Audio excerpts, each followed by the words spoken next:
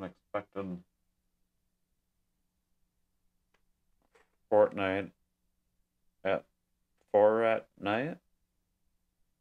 Now that it's five, I can't stream anymore. Oh, I don't know if you heard that, but that's they've been stinky. And I'm willing to bet I got a shit coming.